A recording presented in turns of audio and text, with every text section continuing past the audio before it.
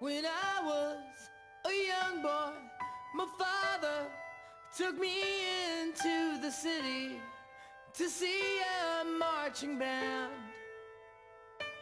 He said, son, when you grow up, would you be the savior of the broken, the beaten and the damned? He said,